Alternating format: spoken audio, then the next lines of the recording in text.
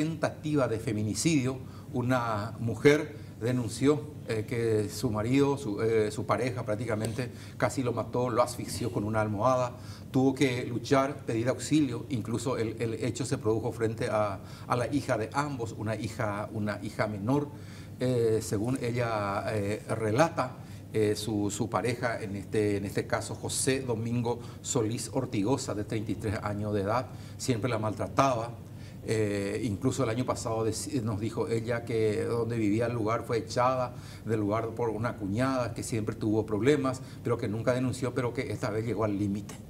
Eh, aparentemente por una cuestión de celo, porque quería revisar el celular, ella estaba mensajeando con, con, una, con una cliente, nos dijo, porque ella es peluquera, trabaja en una peluquería, y así quedó el rostro de esta mujer después de anoche sufrir en su propia vivienda, fue atacada ella en la, en, la, cama, le echó, según la denuncia que realizó en la comisaría séptima central de Ñenduy, por el hecho se produjo precisamente en el barrio San Miguel de esa, de esa ciudad.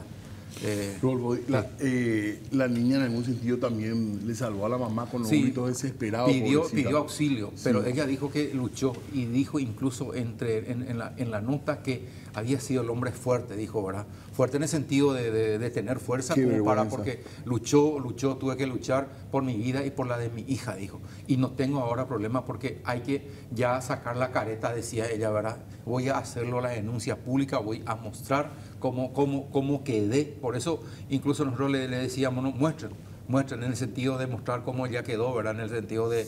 que quede registrado. que, quede registrada, exactamente, la, violencia con que el hombre lo atacó, con la violencia con que atacó, sí. Y ahora en manos de las instituciones de que sean rápidas, Totalmente, anoche incluso rápidamente la policía, después de que haya realizado la denuncia, fue a buscar al, tipo, ya no estaba en el lugar y hay una orden de captura contra esta persona. Sí, la mujer está protegida, evidentemente no, no va, no fue al mismo sitio, no, lógicamente, por una cuestión nuestra, no vamos a decir dónde quedó alojada y compañía. Pero se activó el protocolo de seguridad. Sí, se, activó, se activó. Mira, que hay gente que critica la ley, que no hay feminicidio, se dan cuenta cómo necesitamos una figura que proteja a la mujer ante esta violencia. ante esta situación. No hay otra Yo, forma A mí, me cayó el alma por el suelo cuando anoche escuché, cuando estábamos ahí enfrente, ¿verdad? Con ella, dialogando, conversando y la forma en que te contaba fuera de micrófono. Hasta a mí me da vergüenza como hombre, ¿verdad? Pues yo hasta, hasta este día no se me antoja levantar un solo dedo contra una mujer, ¿verdad? Eh, no, no, no, no, no, nos pasa por la cabeza, ¿verdad? Entonces uno, uno piensa, ¿será que hasta este punto llegamos, ¿verdad? Vos sabés que ayer estaba viendo en Brasil un caso de una mujer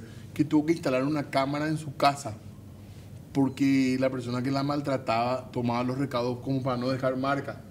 Entonces siempre se minimizaba la, la denuncia hasta que tuvo, hasta que le grabó al marido agrediéndola frente, a la, frente también a la hija. o sea que esto, esto, se repite, son, son formas de agresión Digo nomás porque a veces hay que recurrir a Hasta prácticas comunes se puede decir, ¿verdad? Y, con un mismo patrón. Imagínate, eh, le agarró una almohada y se le tiró la almohada. y casi la asfixió. No, y por eso, por eso tiene esto, esos rasguños, ¿verdad? Por la lucha que él, que ella, que ella tenía contra el hombre, ¿verdad? Y lo que ya habrá pasado. Esta mujer... No, muchas, muchas, muchas situaciones ella pasó, decía, y llegó al límite y por eso realizó la denuncia. Vamos a escuchar a ella, ¿verdad? Sí, igual a que sea el fin del maltrato. Perfecto, vamos a escuchar a ella.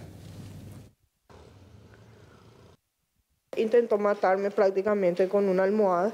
Eh, hubo discusión, vio que yo estaba en línea en el teléfono, estaba con mi teléfono, realmente estaba mensajando a una clienta que tengo las pruebas, las horas, y empezamos él empezó a agarrarme de mis cuellos, eso es lo que hizo, me quiso matar enfrente de mi hija, mi hija pedía auxilio, socorro, así no le haga mami, le dijo ahí yo empecé a a forcejearme con él, a luchar con mi vida prácticamente porque él quiso matarme, yo me di cuenta. Y esto no es que pasa la primera ni la última vez, te venía ya pasando desde que ella era bebé.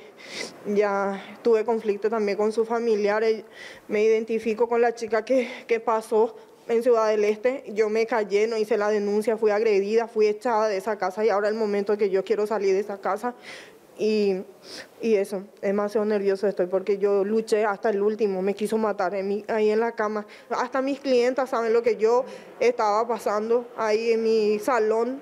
En ese tiempo fui echada, dormía en el piso con mi hija. En su momento yo me retiré, no, no, no compartía más con ellos.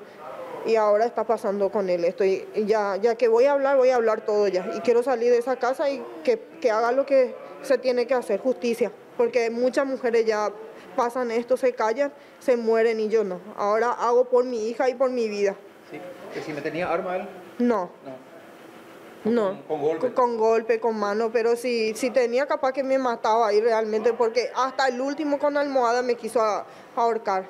Me tapó mi, mi boca, mi nariz, mi hija vio todo, socorro pidió ella. Y yo le dije ahí, están, no sabía más de dónde sacar fuerza, porque realmente el hombre es fuerte, había sido, agarré y le dije, no me hagas esto, yo soy la mamá de tu hija, le dije, no me hagas esto, por favor, le dije,